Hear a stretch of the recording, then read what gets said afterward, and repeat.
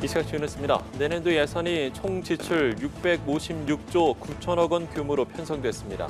올해 본 예산보다 2.8% 늘어난 걸로 재정 통계가 정비된 2005년 이후 최저 증가율입니다.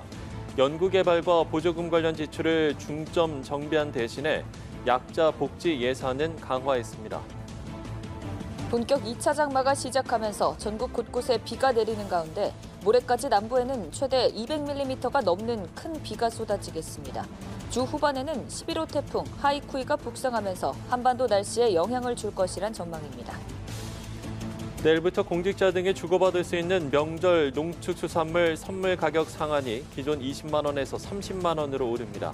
청탁금지법 시행령 개정안 의결에 따른 걸로 일부 금액 상품권을 제외하고 선물 범위도 확대됐습니다.